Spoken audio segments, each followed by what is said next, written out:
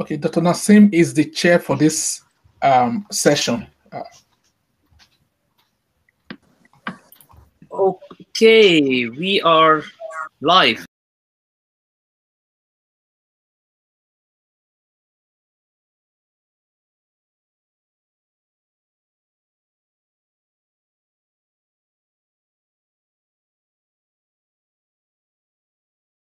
Uh, our first speaker is uh, Ilias Ioannou uh, from Queen Mary University of London. He's a PhD candidate. Uh, Ilias, over to you. You have about nine minutes, so please try and finish uh, in your uh, allotted time. Thank you. Thank you, Naseem. Thank you very much. Um, I'm trying to share my screen. So can you see my screen now? Yes.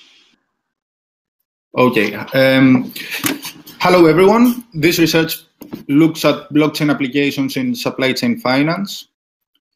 It is uh, actually related to the previous presentation of Emanuel Gans, and it provides essentially a critical literature review from an operational, financial, and legal perspective. The blueprint of this presentation is um, First, I will uh, say a few words about the motivation of this research. Then I will uh, present the research question to then focus on the methodology, results, and analysis which answers the research questions. So, um, can you see my slides changing?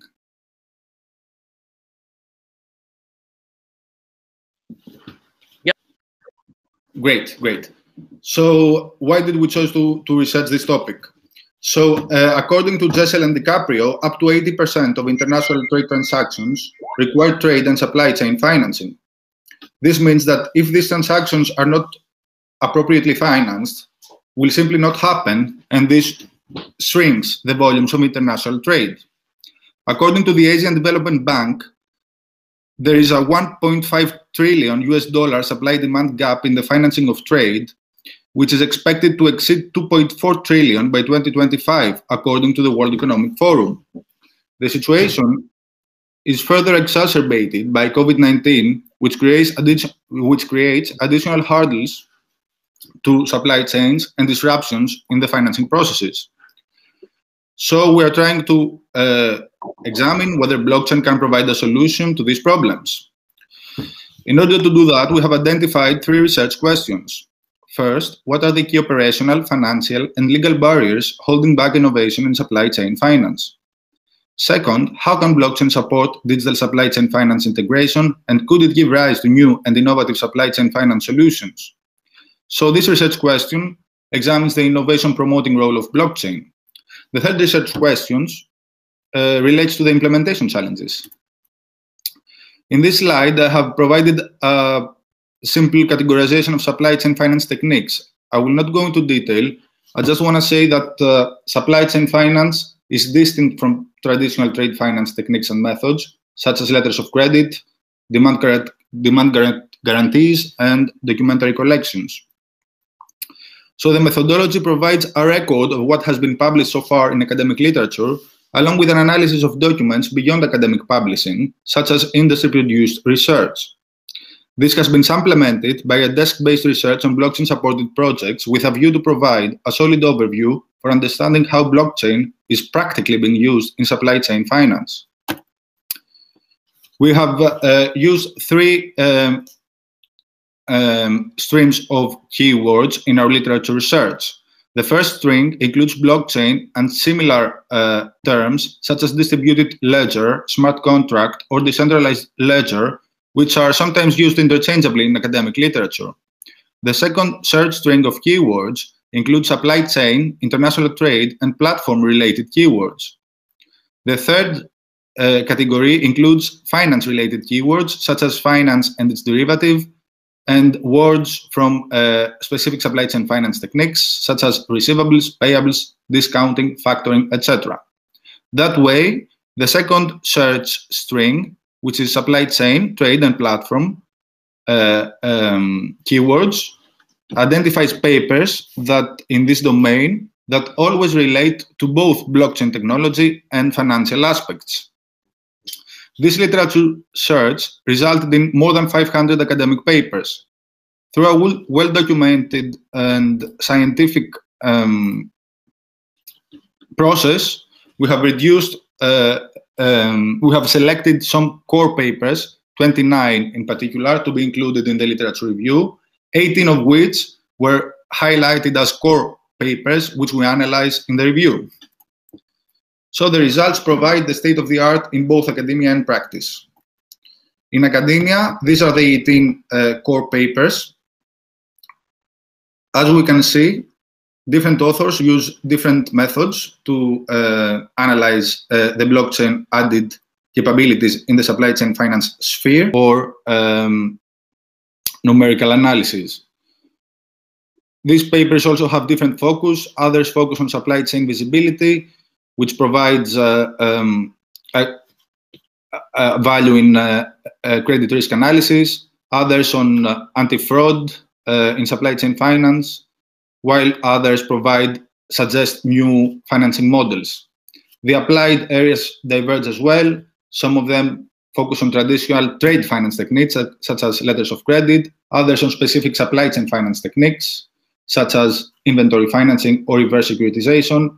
Other papers focus on specific industries, such as fashionable products or the auto retail industry, and other uh, focus on general uh, industries, such as the maritime industry. Accordingly, in the, the, projects in the industry are also diversified. Here we have selected uh, 16 projects according to various criteria. A criterion was who leads each project, which could be either a consortium of banks or a technology provider. Um, we generally included the projects that uh, were identified, we, that we came across more frequently in grey literature. And this has been supplemented by my personal participation in many industry events organized by industry associations, such as the International Chamber of Commerce, the International Trade and Forfaiting Association, the Banking Association for Finance of, and Trade, etc., where uh, the industry discussed uh, industry initiatives, and these are the projects that came across more, that I came across more. This uh, industry and literature review enabled us to identify the blockchain added value in four streams. First, it provides end-to-end supply chain visibility, which is crucial for orchestrating supply chain finance uh, um, solutions, uh, especially in uh, credit risk analysis. Second, it provides increased speed and operational efficiencies in organizing these um, techniques. Emmanuel Gan previously mentioned uh, the paper documentation and supply chain finance needs uh, the circulation of documentation as well. This all can be automated through smart contracts. Third, it can reduce compliance costs such as anti-money laundering, KYC, know your customer, customer due diligence, enhanced due diligence, etc. costs. Finally, it can mitigate the fraud risk, which is a plug in the supply chain finance industry uh, through the increased transparency provided by blockchain. The literature review also enabled us to capture some implementation challenges, which again have been categorized into four uh, different categories. First, we have business implementation. Okay, thank you. Uh, one to go. Uh, first, we have business implementation challenges, which relate to how we can align the interests of different stakeholders participating in the same platform. Second, we have managerial challenges, which relates to how to convince senior management and corporation to onboard blockchain supply chain finance platforms. We have technical challenges, the garbage in, garbage out problem, and legal challenges, how to achieve legal enforceability uh, of digital alternatives to wetting documentation. Finally, our review also enables us to provide a critique and identify some future avenues of research. We can draw a conclusion from supply chain management theory, from platform theory, from network, network game theory, in order to uh, identify how we can solve these implementation, uh, business and managerial implementation challenges. More research is needed on the different technical solutions of the same type, and more research is needed on the legal enforceability of blockchain-based supply chain finance. Thank you very much, uh, and thank you very much for the invitation, and uh, it was a pleasure to present my work here. thank you very much, uh, Ilias. I have just very one quick question.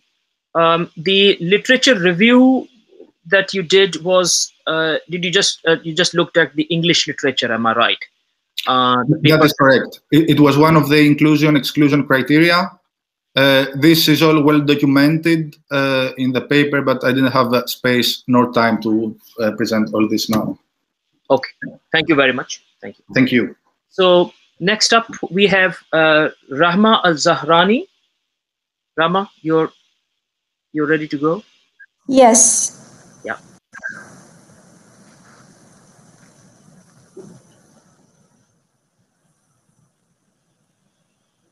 Uh, just a moment. I want to share the screen.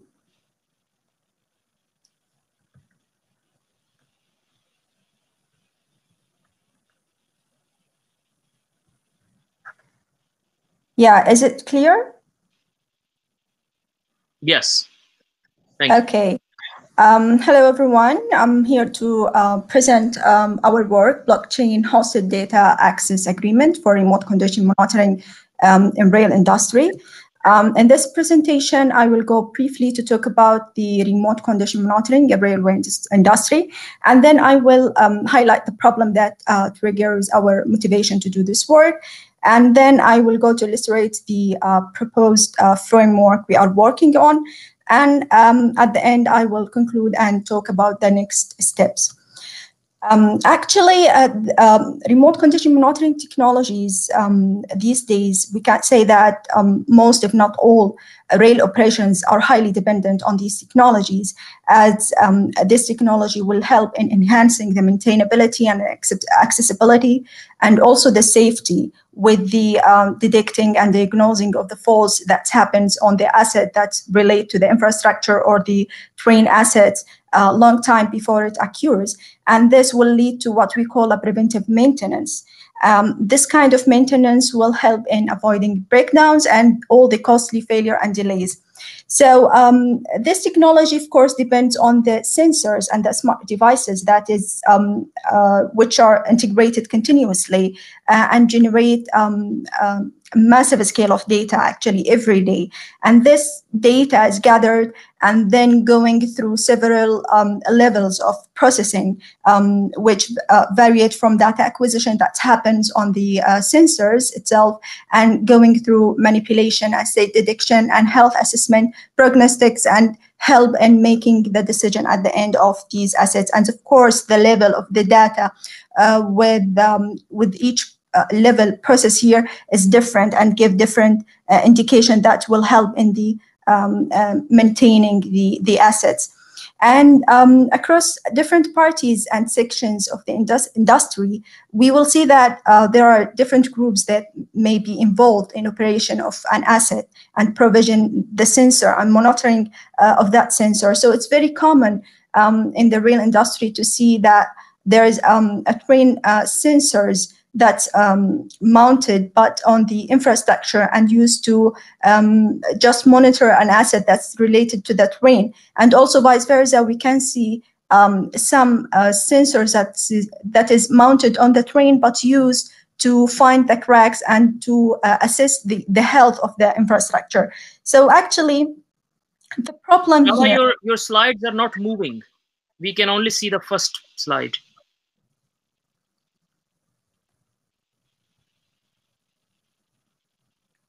Okay. Um. We, we we were only able to see the first slide. Try again.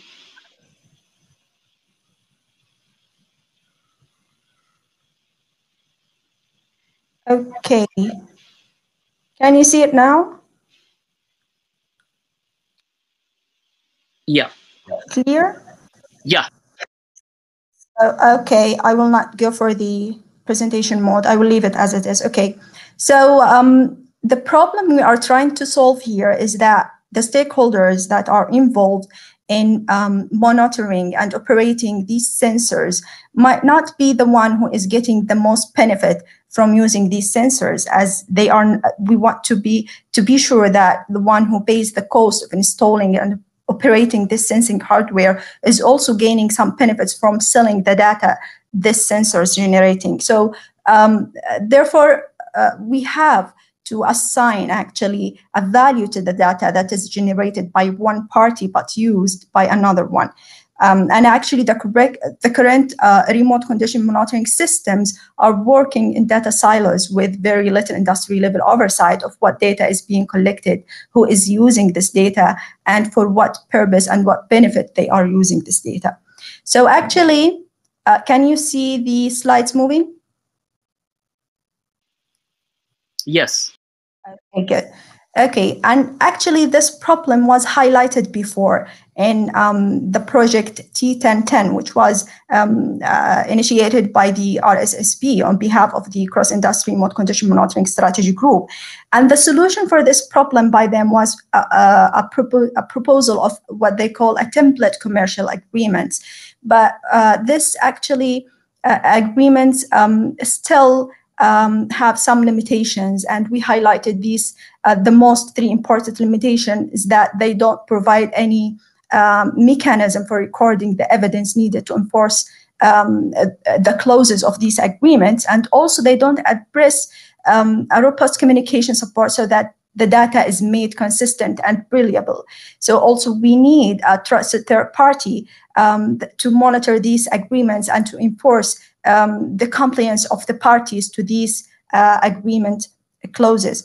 So um, we can look at it by uh, the figure uh, on the left side here, where the, the data provider or the consumer of this data is signing the agreement and um, needing the third party to monitor their conformance to these agreements. But also both of these parties will not have uh, a trust in the cost monitoring they are following. So we are trying to employ the blockchain um, uh, to move this uh, relationship to the right uh, high, uh, the right side of that screen here, uh, where the agreement and the cost um, attribution should be automated and should be um, uh, generated automatically via the smart contracts. And the provider here and the consumer, there's no need to trust each other uh, as they are trusting the the blockchain and, and the um, the smart contract. So in our proposed framework, we are, um, as, as I said, employing the blockchain and smart contracts to work as a bridge between the data provider and data consumer. So we are um, uh, here, the data provider is creating and updating the offers of data they are providing to the to the to the network. And also providing what we call a data hashes of these data also should be stored on the network. Data consumer can get all of these offers and select the one they need and uh, sign for it. So uh, the data structure of all the metadata that we are assuming we are sharing here on the ledger is depicted here and we have uh, actually uh, guided by the T1010 project to um, determine which important data that should be stored on the blockchain.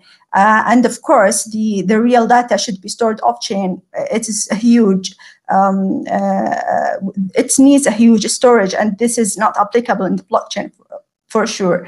So here we are um, uh, developed the model, the access agreement model, so which is initiated by, by the data consumer who is initiating what we call an escrow um, in which he should uh, determine which offer he is interested in and he should also do the payment of this uh, data he's interested in and should also define the subscription period for um, gaining this data. And this uh, of course this request should be sent to the sorry should be sent to the provider who is then so check all these elements. And if he agrees with the um, one uh, minute. Okay. Uh, should also agree and by then there's an automatically generation of, of, of, the agreement between consumer and provider and also generating closing the escrow between them. Um, of course, the, the accessing for the data should be, as I said before, on external storage for the accounting model to, to find the cost attribution between them, we have also built a graph to investigate all the possible scenarios that could happen between the provider and the consumer. And based on these scenarios, the releasing of the escrow and the calculation for the cost at finally will be uh, will be calculated and automatically generated. Uh, so for conclusion, we think this um, the proposed uh, framework will help in translating the agreement terms into blockchain-based smart contracts, and we will um, uh, reach an automated and fair cost attribution between the parties. And of course, of course this would help to uh, also help in the intellectual property rights um, processing and integrity proof, proof, data system. For implementation, we have uh, also made um, a trade of comparison between different platforms that could help in the implementation. And we found that Fabric, Iroha, and Sawtooth will, will, will work well um, in helping in developing this um, framework. For the use cases, we have also chosen uh, RailBAM and um, Pantograph use cases to be uh, tested against the framework after the implementation. Thank you so much. And if you have any question, I will be ready. Yeah, just one quick question. You mentioned about consumers able to decrypt um, the the messages and uh, and data. So how would they do that? Is that in the form of uh, some app, yeah. user friendly? Yes, of course. Um, here, uh, accessing the data actually will be on external storage and the consumer will gain access to the original data. The, original data should be um, assigned and encrypted by using, of course, the public key and the private key um, uh, of the data data provider and data consumer. So yes, this data should be encrypted and signed also for further investigation if there is any misbehaving in uploading um, uh, wrong data, corrupted data, this signing and encryption will be used later. Thank you very much. Thank you. Okay, so our next speaker is uh, Runyu Shi. Yeah, hello, hello everyone. Uh, let me try to share the screen. Uh,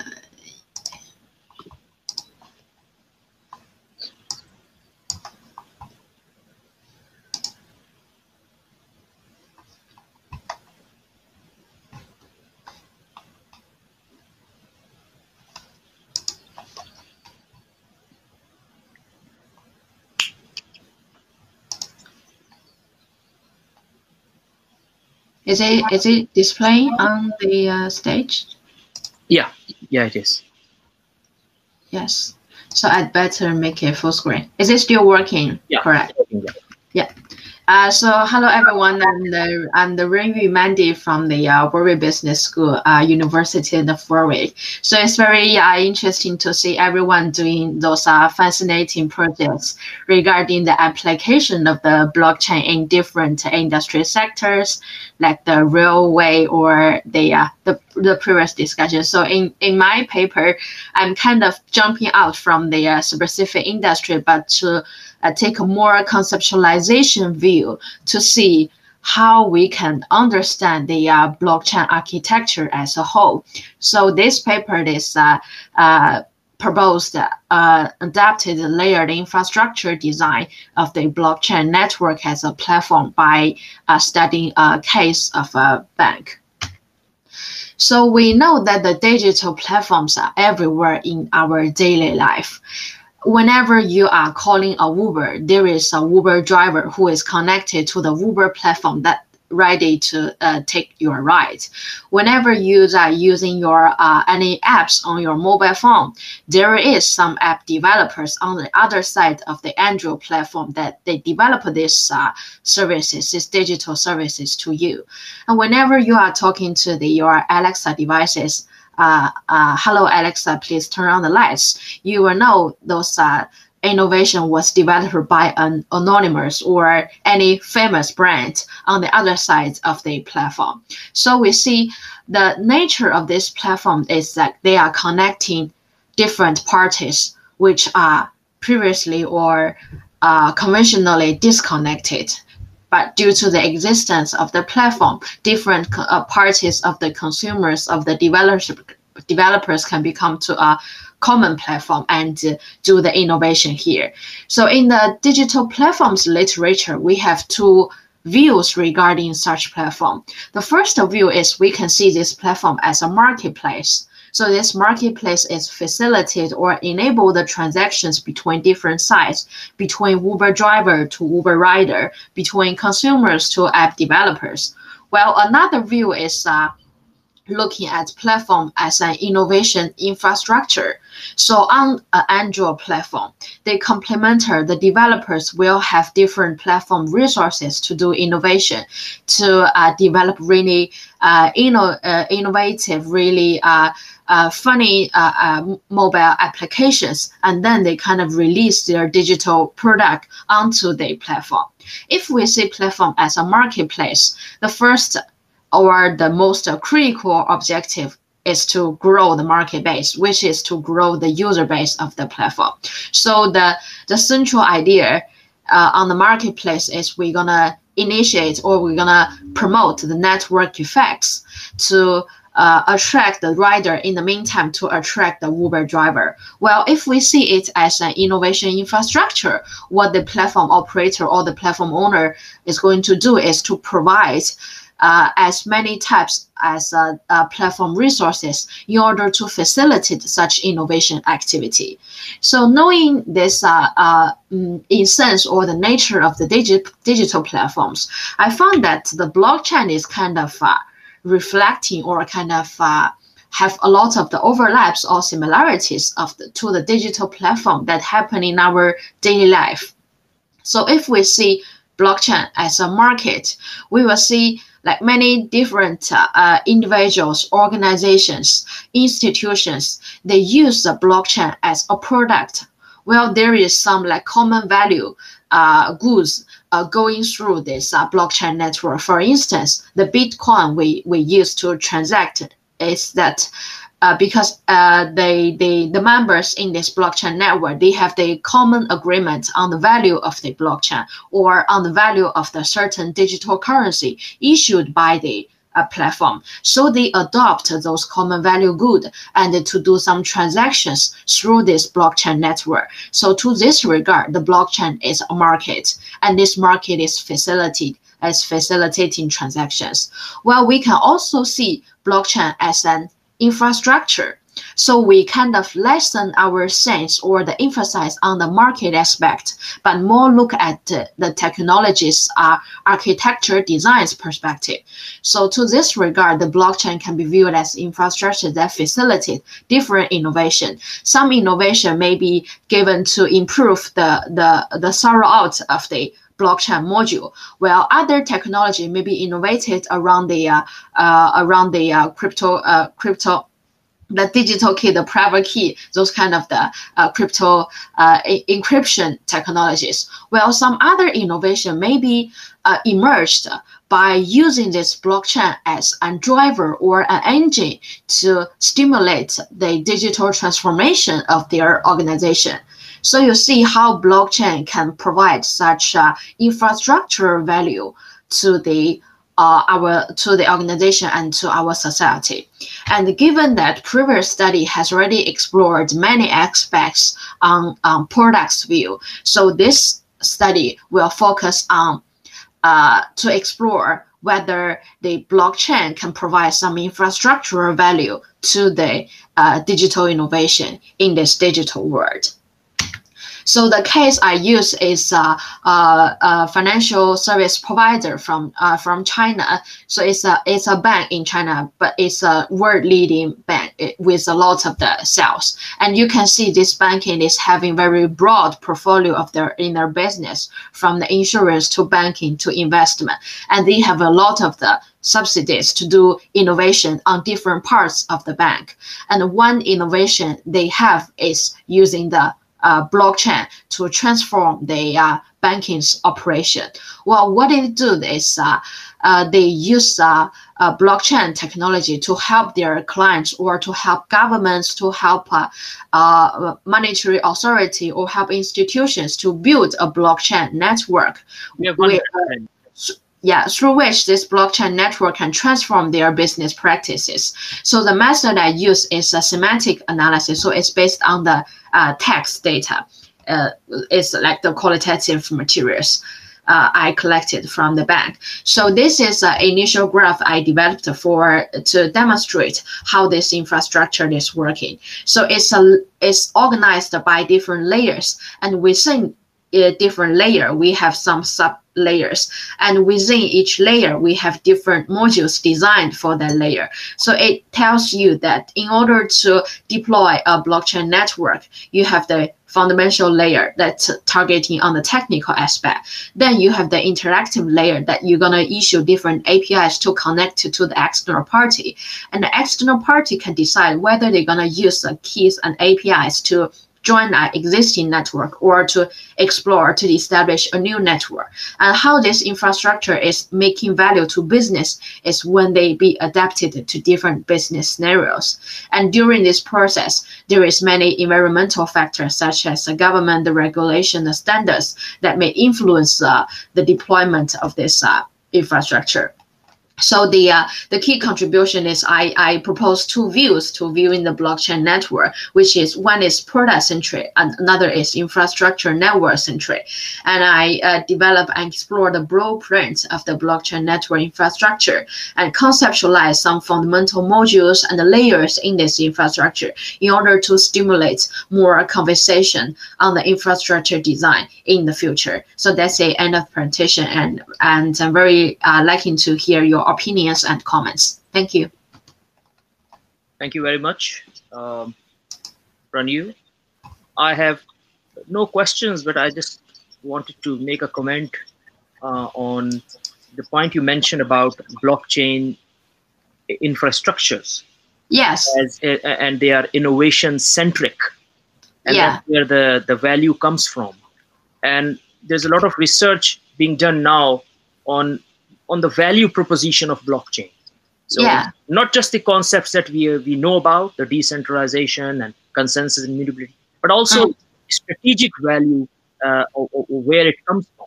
So I think uh, you're you're right that we know about block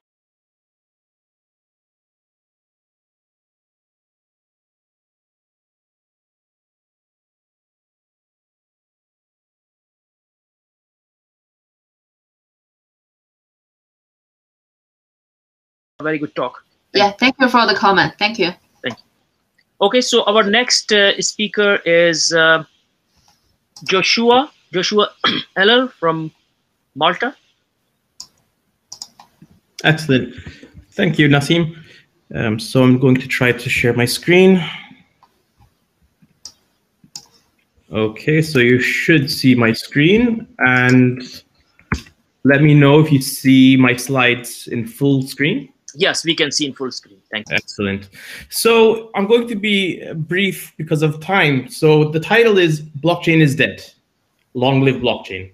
So 2019, post a lot of the hype, many people were asking, is blockchain dead? This guy used to write weekly posts, and now he's saying he hardly writes any posts at all about blockchain. And we saw these comments in various communities from the crypto developers themselves discussing whether blockchain is dead to just various articles saying blockchain failed before it ever began, or people saying that blockchain was a tool that was just looking for a, use case.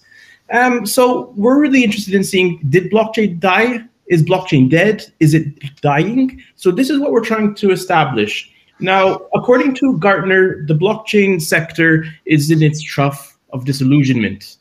Now, if it were dead or if it was dying, it would at some point leave Gartner's hype cycle and it's dead, like other other technologies that went down this path. And we want to establish how far on this path or this path are we actually. So to establish is blockchain dead, we need some way of coming up with a question that we can come up with answers to. And death implies permanent state of inactivity. We're going to use a looser definition we're going to say if the activity of the blockchain sector substantially is reduced, then we'll conclude it's dead or it's on its deathbed. So is blockchain dead? The research question boils down to, has all blockchain related activity been substantially reduced? So we look at a number of different assets from investments, investments, patents, academic papers, research funding, software de development. We're not going to talk about public interest, miners' commitment, and companies founded now because we don't have time, but it's in the paper.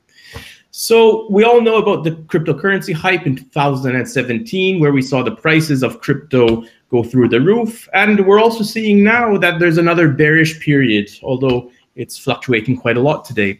So the question that we're trying to answer is between the period January 2017 and December 2020, did blockchain die or is it dying? And we have to admit that cryptocurrency is a factor of the blockchain sector. So we're not separating the two, but we have a single unified vision of what the blockchain sector is for the purpose of this study. We looked at a number of different terminologies to decide what various patents, what various co companies, investment to include in our study. And I won't go through this, but it's in the paper. So we start with investment raised between the period January 2017 and December 2020.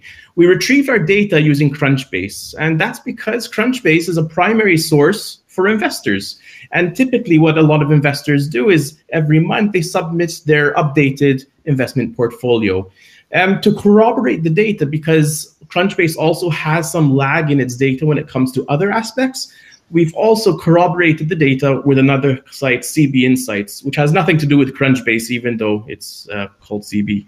So we extracted the data of different investments for the period, and we see that we do see this hype affecting investments, but we see that the levels aren't drastically crashing down. And this is corroborated again with the second data set we retrieved from CB Insights. And we can see that is this a very similar graph to the hype cycle? Are we seeing an increase during the hype, a decrease, and perhaps a sober level afterwards? Perhaps. But an interesting point here is that investment firms employ experts to determine whether they should invest in particular technology or not. And post hype, they kept deciding to invest in this technology. So this is quite promising because these guys are literally betting their money on the industry. So from an investment point of view, we can determine that it's far from dead. And then when it comes to patents, we see a constant increase over time of patents being published. We retrieved our data using Espacenet because it's known to have the highest number of patents and also best features for searching. But the thing about patents is that they often take three to five years from the date of application until they're published it can take a long time. So a number of these patents being published here could have been registered previously in the hype period. But that's not a problem because all of the patents that are published in this period, even though they were registered or filed before, now is the time when they're actually published when the patent applicants have to pay for the most the uh, the most cost consuming part of that patent. So all these applicants are still seeing utility in paying and securing that patent. So we're seeing constant increase in patents being published and costs being put behind these patents. So from a patent point of view, it's far from dead. When it comes to academic papers, we looked at various databases from Google Scholar, Web of Science, Scopus, EBSCO. There is some overlap between the different databases, but they do have some differences. And this is why we end up seeing rough differences in these graphs. Now, Google Scholar reports around a number of papers, whereas the other ones re report exact numbers of papers. And the interesting thing is that we see an increase up to 2019, but either a decrease or a lower increase for uh, Scopus. Now, these figures, as most academics know, is that the indices take a while until they get updated. Google Scholar takes six to nine months until it might update particular papers. So we believe this dip over here, because the data was collected in January 2021, is due to this uh, delay in indexing. And we would like to revisit this to uh, in future to make sure that we see those numbers go up. At least that is the, the assumption. But even if it was the case that there was a slight dip, in regards to academic papers being published, the sector is far from dead. When it comes to research and development funding in the period, we collected data from UK's uh, Innovate UK public funded dataset. And over here, we have the different projects that were funded and the values that they were funded for. And we see that towards the end of the period we're looking at, we're seeing more investments and also investments of higher amounts when it comes to research and development funding. Now, the interesting thing about research and development funding is that these are projects that are being granted. Now, all the researchers who are receiving this research money are going to be working on blockchain projects, are going to be publishing blockchain papers. So we're also going to be see be seeing an increase in papers being published. Now, this is but one funding agency. So obviously we have to look into much more data out there from different agencies, from different countries. But at least from the perspective of the single agency, funding for blockchain is not dead. Now, in future, we want to undertake a more um, wider study in regards to different countries. So, one minute. Yeah, excellent. So when it comes to development activity, we find that we found 97% of the blockchain projects in GitHub and we looked at their activity and we can see a constant increase, no effect from hype or no hype of blockchain based activities. So these are all the different GitHub events. And we looked at, we wanted to, to extract uh, a feature from this. We wanted to look at what makes a project successful. So we looked at the activity of a project, how long it's been active for, its duration, versus the number of contributors. And we find the more contributors in a project, the longer it is successful. So perhaps this is a message here that we should come together as a community and work collectively because that is where we're going to get success. But when it comes to blockchain-based development, it's far from dead. So future work, we're looking into various avenues for future work to expand on, like I said. But is blockchain dead? Well, this is the punchline. Either people are wasting private investment, money's being wasted on IP, on uh, academics are wasting time on publishing papers, government funds are being spent on R&I, stakeholders and general public, because we also show that they're interested, are wasting their time. Funds are being wasted on mining because we also show that in the paper. Endless hours are being spent into developing software that will not be used. Either that or blockchain is not dead. And we came up with this objective conclusion that the blockchain sector is seeing healthy activity in various aspects. Blockchain is not dead. Long live blockchain. Thank you. Thank you very much, uh, Joshua. Excellent presentation. I have a comment uh, to make about the, the lag of citations that you mentioned. Yes, um, there is a system that we are using, uh, which is free for our JBBA authors called Artifacts. And you can actually cite others' work real time and it's uh, it's on the blockchain and it's free to for use by the journal authors. So uh, please do use the system.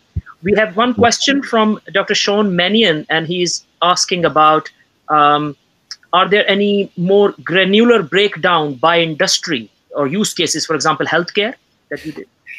No. So for, from my perspective, I haven't found anything similar. And I think it, we need more work on sector specific as well as facet specific. So let's look at R&I in isolation. So it's both the facet and the sector. And I think this is some very interesting work that finally what this presentation gives us is the support to tell research funders out there, blockchain is not dead. We still need research funding. Whenever you hear say, someone say blockchain is dead, we need this sort of evidence to show them that it's not. Yeah, indeed. Thank you very much, uh, Joshua. Excellent talk. Thanks, Naseem. We have uh, next uh, panel speaker, uh, Bedrettin Gurcan, who uh, also presented his paper at uh, last year's ISC. Welcome, Bedrettin. Over to you.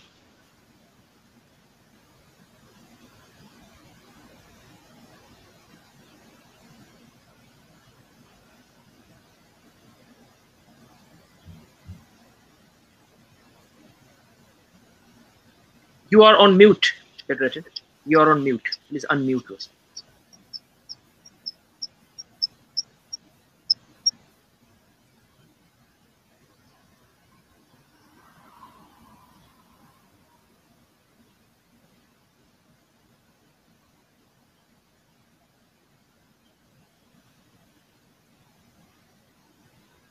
Hello?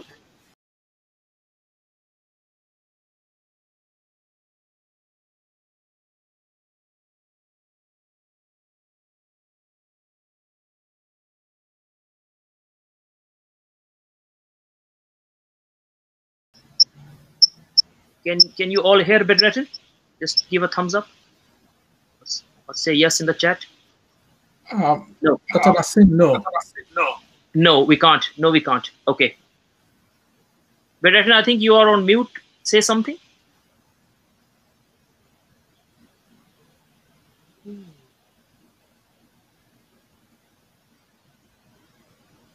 If you are using two screens, check if it is not directed to a different speaker.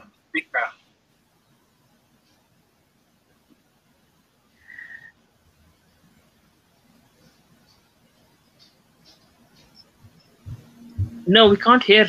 We can't hear you, Retin. Maybe some problem with your mic there.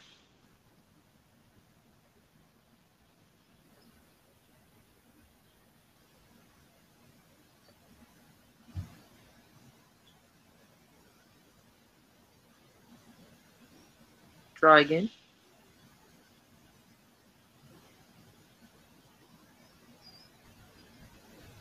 Okay.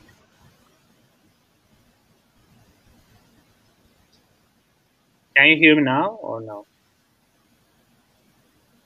It looks Yes. on. Yes. Yeah, yeah. Okay. Okay. It looks on. Okay. Okay, I'm sharing my screen. Uh, can you see my screen now? Yes. Okay, perfect. Sorry. And then I know that how it is anxious, but thankfully they are good. And I wish everybody's family uh, good health. So today I would like to present you implementation of the blockchain technology to the international trade and custom regulations. But since the Miss Emmanuel and previous colleagues also presented a similar topic, uh, I would like to give more uh, kind of summary details regarding the topic. So uh, first, I am a lawyer and then researcher at the University of Szeged in Hungary in the third year of the PhD. Uh, I would like to give more about maybe the legal side, the problematic side of the blockchain to use uh, international trade. So as you know, the blockchain has three main promises as transparent, decentralized, and immutable uh, infrastructure. So technically for this infrastructure, what we can use that, we can use workflow across the parties of the trade. We can simplify the process, process secure by design, transparency, and immutable audit trails. However, it is important to mind, bear in mind that blockchain can track and guarantee the uploaded data is not tampered with. Nevertheless, not guaranteed that the recorded data is accurate, which is also kind of confusing for some parties. So how can blockchain be used on the international trade? The first thing is about the traceability. Uh, since the uh, uh, previous colleagues also mentioned that there are some examples how we can use the blockchain. Uh, you know that international trade has so many, have so many stakeholders such as traders, governments, businesses, consortiums, insurance companies, such as. And technically, we can use the blockchain to share instant and accurate information for all of them. And then absolutely, it will uh, decrease the paperwork, risks, and delay, and also the cost for the whole parties. Uh, if you give me, if, if you give example, Walmart and VeChain is a good example. Uh, VeChain has developed in 2019, as Ms. Emmanuel also mentioned, uh, across the food supply, supply chain, uh, such as producing, processing, transportation, and warehouse and retailing, uh, which is a kind of good example. Uh, smart contracts, which is a not new uh, new concept. Actually, it has came 10 years before from the Bitcoin blockchain by Nick Szabo.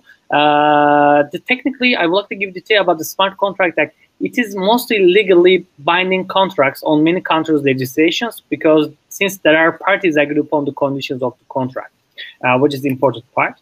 Uh, first example, that letter of credit transaction, we can use the blockchain. Uh, on the left side, you can see the letter of uh, credit uh, procedures, and the right side, you can see through the smart contracts. Technically, smart contracts can be designed for the letter of credit transactions. Also, it is already has been made by the HSBC and Voltron. Uh, it is the world's first cross-border yuan-denominated blockchain-based letter of credit transaction. Uh, actually, uh, it makes easier for the small medium enterprises uh, this kind of uh, developments because if there's a less bureaucracy and less expense then SMEs, small medium enterprises is able to enter the international trade more. Uh, so one other example also other colleagues mentioned acceleration of the MLA and KYC procedures. Uh, MLA is anti-money laundering and KYC is know your client. Technically financing of the trade is the big, one of the most significant importance important element of the trade. And then technical financial institutes are obliged to examine the parties under the rules of the know your client and compliance regulations. So technically it, these procedures take so much time, especially on these days with MLA 5, MLA 6 regulations of the European Union, it is getting harder and harder for small and medium enterprises to enter the international trade and integrate the financing of the trade. And then technically we can design the blockchain for MLA and KYC procedures as well. Uh, custom documentation clearance, actually, in one basic intentional trade, there are so many documents as packing list, bill of landings, you know, invoices, uh, some filings, geographic specific certificates, such as. And then all this done by Manus cross valuation. Technically, all the procedure can be handled by the blockchain, and then it can be also less corrupt for many countries. Uh, the example also Ms. Emilola mentioned that Maersk and IBM TradeLens uh, already have partnership with 90 uh, ports and terminals worldwide. And technically, the system uses encryption and permission-based sharing key particular data shared on the permission private blockchain. So the technically commercial transaction on the blockchain as an example here, you can see, I don't want to, uh, I don't have so much time. I would like to show in general, technically the parties agree upon the conditions and then the conditions are coded to the smart contracts. And then there are some third parties are able to join to the uh, private permissioned blockchain and then check the procedure and then upon delivery importer will uh, importer will let the know to the other parties and then the payments will be made through the smart contracts automatically without wait. So potential obstacles to implement blockchain technology. Technically, it is a kind of our field. Uh, we are working on the most legal framework of the blockchain. Which kind of legal barriers will will be faced uh, implementation of the blockchain, especially the first uh, first uh, first obstacle is the technical ones, like there is no central controller on the public blockchain, but technically private permission blockchain can be solution. Uh, also, there's another point that I would like to discuss how the blockchain is reliable or not. We are talking about the technology which is uh, relatively old. It is came from the 2009, almost 12 years old uh, technology. And then what will happen in case of the supercomputers? Nobody knows. Uh, but by today, it has been proved at least. And, and also standardization, as Ms. Emilola mentioned, that which is very important because the technical countries will uh, it, it will be important to get acceptance of the government and official bodies technically. And also, uh, there are some uh, point that understanding of the blockchain and confusing by the cryptocurrencies is kind of maybe the problem. Uh, so the conclusion, uh, the technically blockchain provide transport infrastructure, more accurate, fast, and reliable. Uh, so many parties can join and can get information uh, very quickly and accurately without any corruption, without any change, uh, which provides so much uh, opportunity. Private permission blockchain have provides more opportunity, and then we will see that regulatory bodies introduction in the future. So I would like to finish with the uh, writer Steve Brand word. Once a new technology rolls over you, if you're not part of the steamroller, then you're part of the road. Uh, it is a references and thanks so much. Please keep in touch on LinkedIn or email and thanks so much for this great conference again and hope to see you next year face to face. Take care. Thank you very much, uh, Bedrettin. Um, I uh, you mentioned about uh, governments and authorities uh, accepting blockchain as a as a, a big of big of challenge. Um, so what what in your opinion are is the solution to it? Um, that something that you looked into, or, or any recommendations from your research on how we can get the governments and authorities to um, to accept uh, blockchain and distributed ledgers as potential solution for some of the trade problems? Mm-hmm. Uh, actually, the first step will be some uh, some chamber of commerce or some international agreements will be the long path. But for example, it will be a good idea to start with chamber of commerce uh, collaborations. Let's say, uh, for example, also inside of the unions or trade unions uh, or it can be it can be added on the bilateral uh, trade agreements let's say uh, to make the trades easier between the country the country and i guess it will be the best and fastest way to start using blockchain between the governments bilateral trade agreements or chamber commerce registration uh, collaborations or some trade unions uh, as world trade organization as well thank you very much any questions uh, from the audience? Any any general questions for uh, for the speakers? I think if there are no questions, yeah. I don't think there are any questions. So what we can do is we can move on, uh, go to the lounge, and uh, start uh, our preparation for the next. Session. Solomon, anything to add? Um, no. Um, I think this this session is is come to an end. Is that correct? Yes, that's right. Yeah. Okay. So the Right, next so- session is uh, the next session is on the law of crypto assets and regulation, and uh, Okay. starting in in about ten minutes. So we'll go Okay. there. Thank you. Okay.